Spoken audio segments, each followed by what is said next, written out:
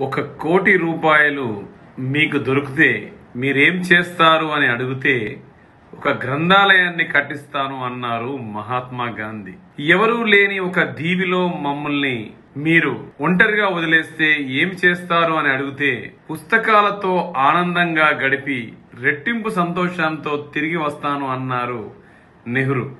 మరచిపోకుండా నా సమాధి పైన రాయండి. ఇక్కడ పుస్తకాల పురుగు శాశ్వత నిద్రలో ఉన్నాడు అని అన్నారు.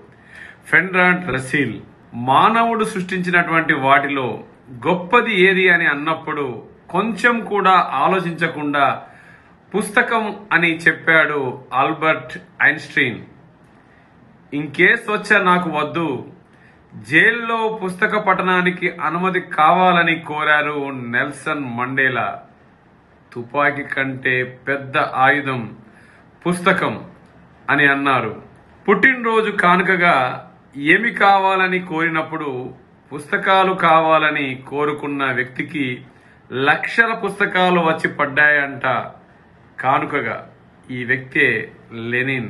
ఒక్కో చిత్రం నటించాక తనకు వచ్చినటువంటి పారితోషికంలో మొదటి వంద డాలర్లకు పుస్తకాలు కొనేవారు చార్లీ చాప్లెన్. ఒక పిల్లవాడికి మీరు ఇవ్వాల్సినటువంటి గొప్ప బహుమతి ఏది అని అంటే పుస్తకమే అని అన్నారు విన్సెంట్ చర్చిల్.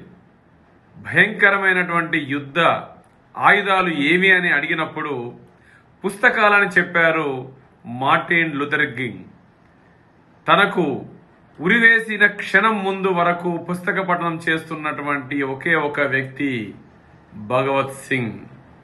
నేను ఇంతవరకు చదవని పుస్తకాన్ని తీసుకువచ్చిన నన్ను కలిసిన వ్యక్తికి నా ప్రాణ స్నేహితుడు అవుతాడు అన్నాడు అబ్రహం లింకన్. వెయ్యి పుస్తకాలు చదివిన వ్యక్తి ఉంటే చూపండి అతడే నా మార్గదర్శి అన్నారు జూలియస్ సీసర్. ప్రపంచ పటంలో కనిపించే ప్రతి మూలకు వెళ్ళాలని ఆశపడుతున్నావా? అయితే గ్రంథాలయానికి వెళ్ళమని చెప్పారు టెస్కార్డ్స్ జీవితం విరక్తి చెందినప్పుడు లేదా కొత్త జీవితాన్ని ప్రారంభించాలి అని అనుకున్నప్పుడు ఒక మంచి పుస్తకం చదివి మొదలుపెట్టు అన్నారు ఇంగార్సెల్ వ్యాయామం ఎలా? శరీరానికి ఆరోగ్యమో? అలా పుస్తక పటం మనసుకు వ్యాయామం ఆరోగ్యం అన్నారు సింగ్మెంట్ ప్రొవైడ్. పుస్తక పఠనం అలవాటున్న వ్యక్తిని పరిపూర్ణ మనిషిగా మార్చేస్తుంది పుస్తకం అని అంటారు. ప్రముఖులు ఎందరో వెలుగులో పంపించింది వారిని వెలుగులోకి తీసుకొచ్చింది పుస్తకాలే. ప్రముఖుల ఎందరికో వెలుగును పంపించింది వారిని వెలుగులోకి తెచ్చింది పుస్తకాలే. ముఖ పుస్తకం పట్టుకొని నిజ పుస్తకాన్ని మరిచాము చదవాలి అనే ఆలోచన ఆసక్తి ఉంటే చాలు. ఎన్నో మంచి పుస్తకాలు వేలల్లో ఉన్నాయి. చదవండి చదివించండి. ముఖ పుస్తకాన్ని వదిలి నిజమైనటువంటి మన జీవితాన్ని మార్చే పుస్తకాన్ని ఎంచుకొని ఎంతో మంది జీవితాలు మార్చేటువంటి ఈ యొక్క పుస్తకాలను పఠనంతో మన జీవితాలు మార్చుకుందాం. ఇతరుల జీవితాలను మారుద్దాం. Thank you. నమస్తే.